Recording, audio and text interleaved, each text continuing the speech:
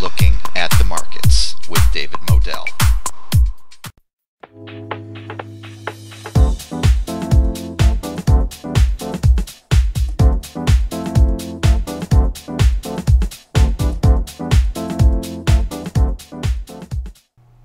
Hello and welcome to Looking at the Markets with David Moadel. I'm a fan of under the radar opportunities and especially medical and scientific research that supports certain companies that are on the verge of a breakthrough. And today I'll be speaking with what I believe is one of those companies. I'll be speaking with Mr. Panna Sharma, the CEO, President, and Director of Lantern Pharma. This is so exciting. Uh, Mr. Sharma, welcome to Looking at the Markets, sir.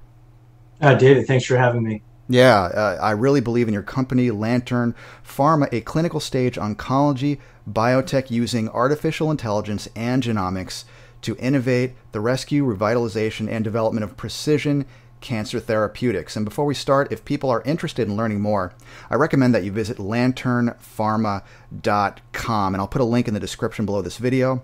Uh, also, if you're interested in investing, that's up to you. You have to make your own decisions, do your research, but the stock ticker is LTRN. Uh, so, Mr. Sharma, I don't see many biotech companies really leveraging the full potential of AI, artificial intelligence. So, could you please tell me about Lantern's proprietary AI platform known as RADR or Radar.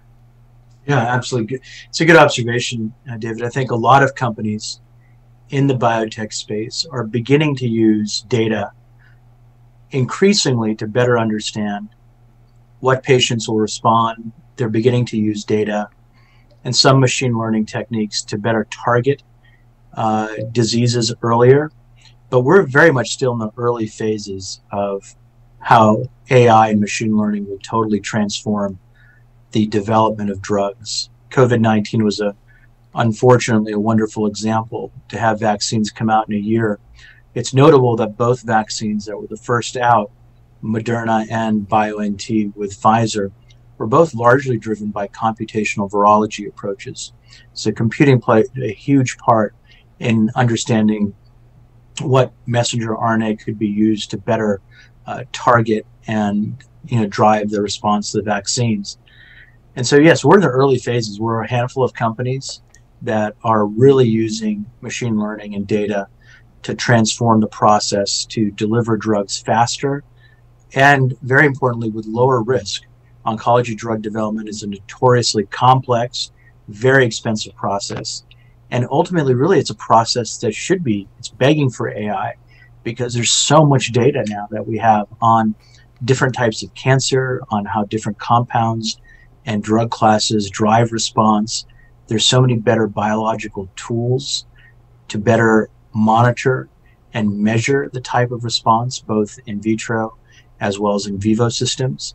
So we're living you know what i oftentimes call a golden age of AI in medicine. I think the productivity is going to increase a hundredfold in the next five to 10 years, and the number of medicines that are going to be more powerful and more personalized will also increase significantly in the next decade.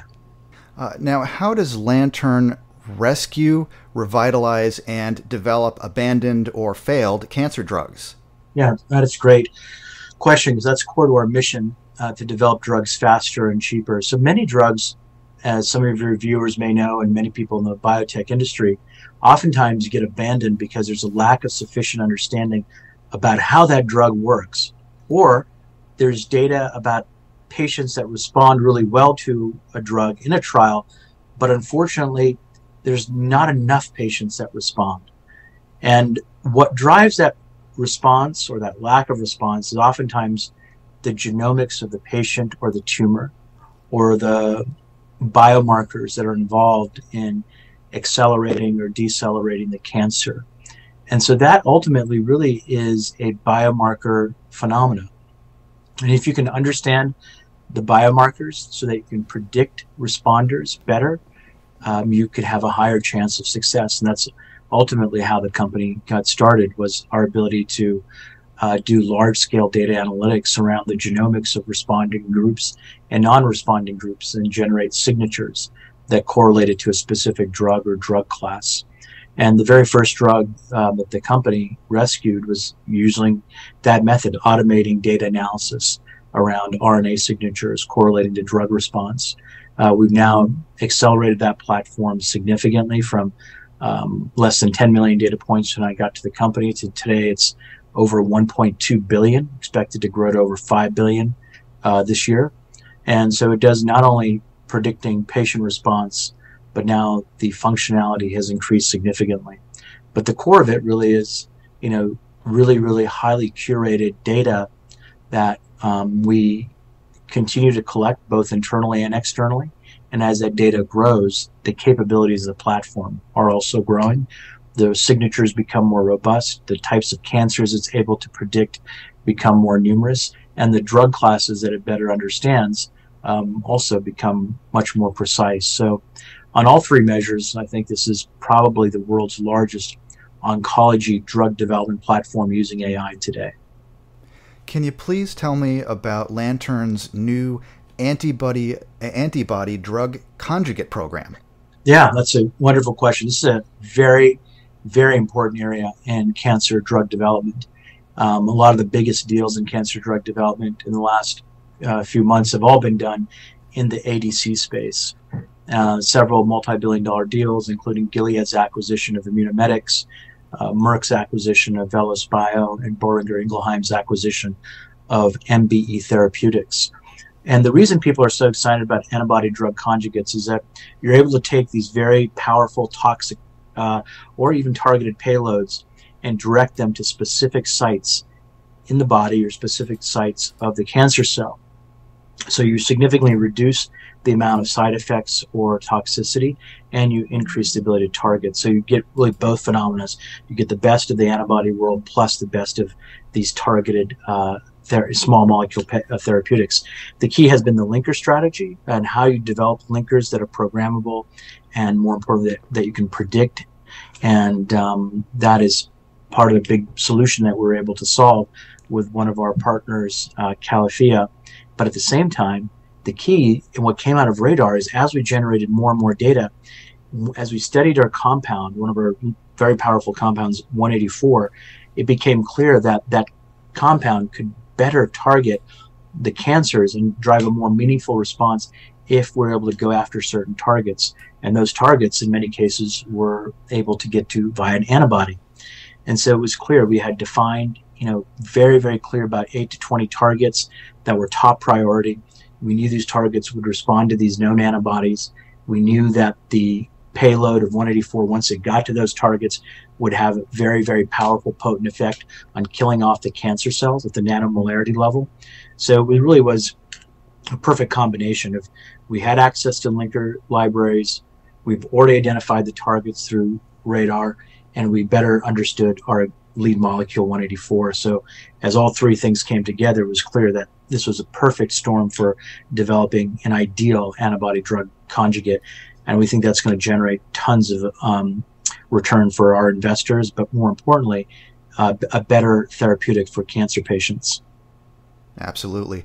Now, there's new and exciting scientific data substantiating the blood brain barrier permeability of LP184, which targets glioblastoma, an aggressive malignant form of brain cancer. So, what is the significance of this data? It's uh, really significant on three measures. First, you know, just talking from an internal perspective, um, glioblastoma was predicted to be very um, responsive to our drug LP184 um, by radar it came up on several of the screens that we did. And so when we validated that, in fact, it did work, um, we were quite excited by that. It really showed us that the platform was becoming more powerful. We then ran a number of algorithms to predict its blood-brain barrier because it's one thing to kill uh, brain cancer in a in a in a plate. It's another thing to do it in a real living system in, in small animals, eventually humans, but in actual in vivo intact neurospheres. So when we took our predictions and then went into the lab to use this um, in vivo and in 3D systems, and it had the same potency and across the blood-brain barrier, and it has to do two things. It has to cross the blood-brain barrier and kill off the cancer cells in this you know, in, in, the highly potent manner that it did in vitro. And it did that. So that was a great check mark. But also, very importantly, and this is many drugs fail, as it crosses the blood brain barrier, it has to also leave the neuronal cells intact and kill off the cancer, uh, which typically grows in glioma cells. And it did that. So the fact that it crossed the, bar- crossed the barrier with a high level of potency, and then second, it left the neuronal cells intact, leaving them viable to minimize any damage to the patient, really critical. And so we crossed both those thresholds literally within months of going public and had some compelling data. And this drove uh, a lot of excitement in the team. But more importantly, for cancer patients, this is even more important because um, glioblastoma, about 50% of patients don't respond to the existing standard of care today. And their outcome is very poor. I mean, typically we're talking uh, survivals that are, you know, right around a year or slightly longer. So um, it's there's a real need for improved therapeutics in this category. Yeah. Now, in developing LP184, Lantern Pharma has research partnerships with several highly recognized research centers. Can you tell me more about this, please? Yeah. So our our business model is, you know, we're really good at coming up with innovations and using data and AI to advance therapeutics, um, and we want to continue doing that but who's going to validate that what we're doing is really actually as exciting as it should be? So our business model has been, let's make sure that we're an asset light organization, that we can use all these wonderful research labs that are always going to be better than our people, I think, because that's what they're focused in on their whole lives, professional careers. And so as we have results, we share this with the scientific community. And we were lucky enough to have some of the top research universities, including Johns Hopkins, um, the Brain Cancer Institute there at Sidney Kimmel Cancer Center, Georgetown, Fox Chase Cancer Center Temple Health, we top tier research centers that wanted to participate and help um, with our research and take it to patients more rapidly. So, working alongside top researchers to validate what we're doing is very exciting. To help us drive new insights and drive new data that we can put into our system. And third, to better accelerate the route to patients because since they are seeing patients, you know, they have a much more um, in tune understanding of where this drug will fit in in terms of the armament against that disease. So for our number one, our investors, I'm excited because it validates that top tier places want to participate. And number two, I'm really excited from a patient perspective because it gives us better insight in terms of how our development will get to market faster for these patients. So on both fronts, um, working alongside top universities and cancer centers is a central part of our strategy. Absolutely. Now, Lantern also has a promising treatment candidate in LP300, which targets lung cancers for non smokers. And a prior phase, phase 3 clinical trial of LP300 did not meet clinical efficacy endpoints, but it did demonstrate survival benefit in a patient subgroup. So, how is Lantern Pharma developing this potentially life saving treatment today? Uh, that's a very good question, David. So, just for your audience, so the prior phase two trial was not done at Lantern. So, this is part of our strategy. So, really interesting, innovative company called Bionumerik was advancing this molecule, and they took it to phase three. So, this is done in over 10 trials, that over 1,000 patients, very well tolerated molecule.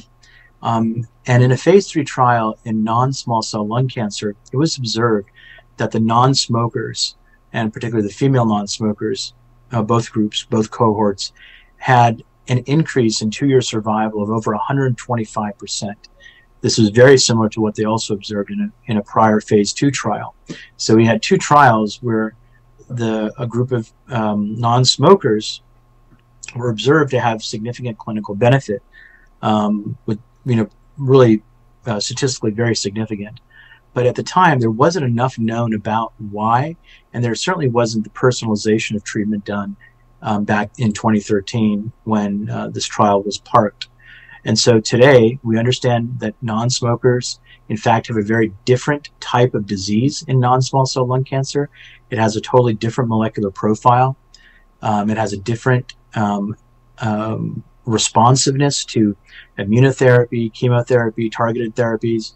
And so it's a different disease.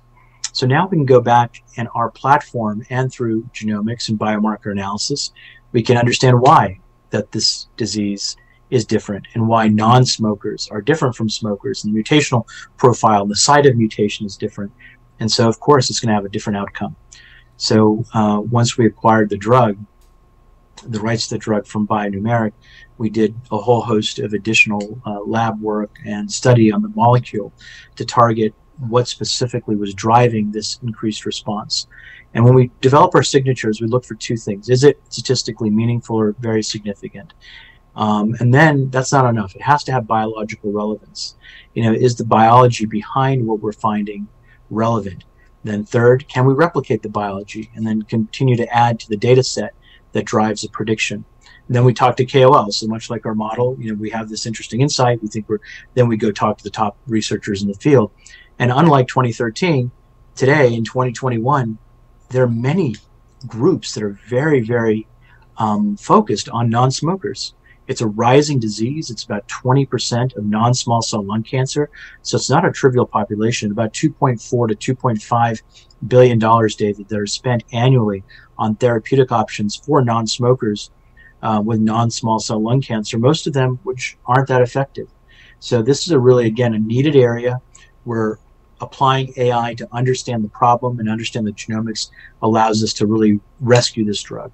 Um, and so we're launching a phase two uh, trial later this year. And uh, so we've been working with sites, we've been finalizing the protocol, we're obviously manufacturing, uh, we're near uh, finalizing the manufacturing of the drug. So all things kind of pointed toward, you know, uh, a mid-year, late summer kind of launch for this trial. Very important indication and very important to uh, patients as well as to our business model. And can you please tell me about what you envision as the future of RADR or radar technology?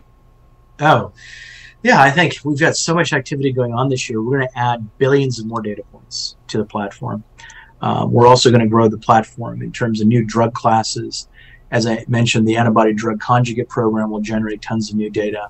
Um, so I think easily this year we'll reach three to five billion data points, and it could be um, significantly higher than that. Um, and you know now we're very well capitalized. We just did a follow-on offering, raising an additional uh, sixty million dollars. So we've raised eighty-six point three million uh, since going public. Our burn rate is very modest, so that gives us a very, very good window into, you know, accelerating our work into the future. Several years of cash, and so we can really focus on the science, advancing the portfolio, and as we advance the portfolio, it's all data all that data goes right back into radar. And so it really perpetuates, allows us to develop new drugs faster, new indications. And as I've promised to um, our team and to our investors, we're very focused on a new indication every 12 to 18 months. That's what we do best. We find things that are innovative, new, targeted, oftentimes in very very, very rare populations. And then those programs can be worth hundreds of millions or potentially billions of dollars. And so this is what the power of AI is. The power of AI is to develop drugs faster, cheaper, and with greater certainty that they're going to work um, as they advance. And so I think um, this is, you know, really the future of how drug development will be done is part data science and AI and part genomics and molecular biology. I totally agree. I believe this is the future, but you get to see it first and you get to watch the future happening now with AI, artificial intelligence enhanced, and genomics technology enhanced oncology at its best. And not only new treatments, but rescuing highly promising treatments. Uh, this is really a great business model. I see it as uh, huge potential. Uh, the uh, ticker symbol is LTRN. If people are interested in potentially investing, now you have to make your own decisions.